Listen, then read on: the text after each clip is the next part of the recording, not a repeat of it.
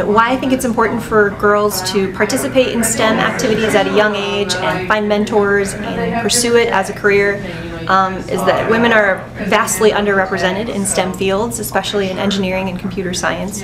Um, so I want to encourage them to stick with it even if they feel like they don't belong or it's really challenging.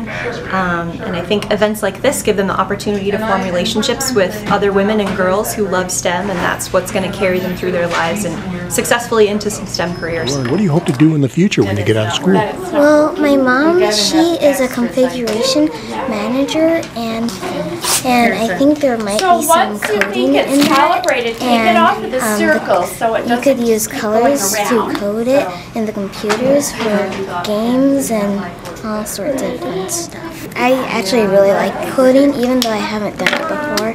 It's really cool how the colors know, like, censor these bots and where they could go. And yeah, like, I hope that I could help the world be a better place with better technology and more efficient ways of technology.